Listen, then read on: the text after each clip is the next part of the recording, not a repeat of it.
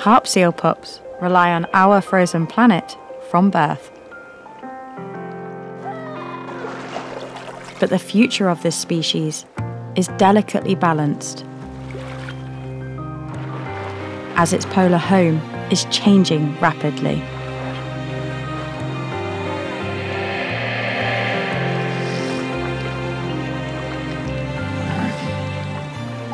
Harp seals breed on the sea ice in the winter in the subarctic and then migrate up into the high Arctic during the summer, following the sea ice as it retreats. They need the sea ice to breed during the winter, but they also forage around and forage under the sea ice. And so it's a really crucial habitat for them, and we know that the sea ice is changing. There's been a declining trend in both the extent and the thickness of the ice. What happens is that it breaks up and it doesn't survive for the time that the pups need it, and so we get mortality. In years when there is very little or no sea ice, we know that harp seals can fail and we lose the whole population of pups in that particular year. We know that within the next 30 years or so, the Arctic will be ice free in summer. We have a responsibility to understand how these seals are going to adapt to this or if they can even adapt to this. Sea ice is in retreat due to warming caused by our planet's changing climate, which is having similar impacts on life on the opposite side of the globe. We are on Biscoe Point, which is an area that historically harbored a very large population of Adelie penguins.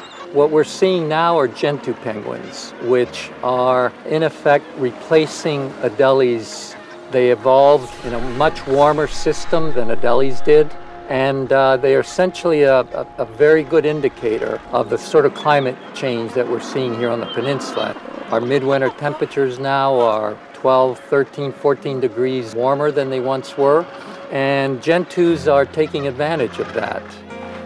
The arrival of Gentoo penguins in this region is just the tip of the iceberg.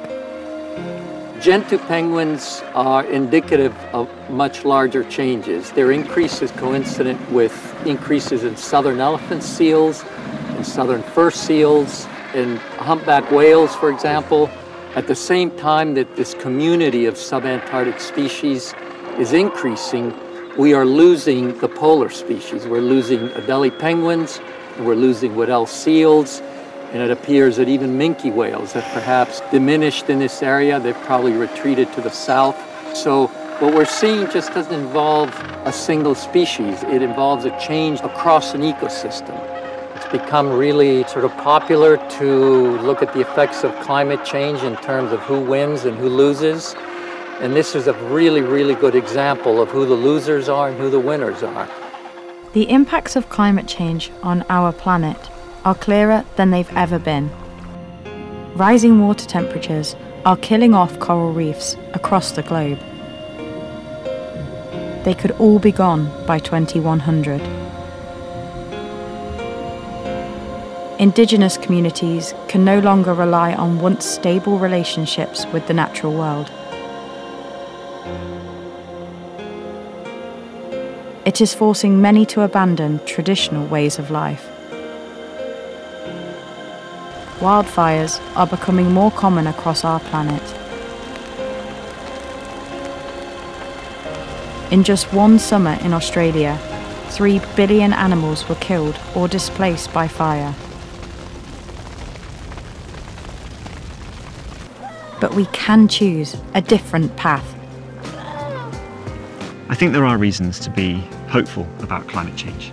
If we don't make changes, then we're sleepwalking into a world where we don't have Arctic sea ice, where harp seals don't have a home, where polar bears don't have a home. Climate change is a global problem. The changes that we need to make don't have to be drastic. They don't have to be horrendous to everybody's way of life but we do need to make changes. If you have a sense that what you're doing is making some difference, even if it's only in your local neighborhood, then you're willing to continue to do it. And I think that's what people need, is they need to know that they can make a difference, even if it's only a small one. We all have a part to play, and we are stronger together than as individuals. The decisions that we make now could build a more certain future for all life on Earth. This is our frozen planet.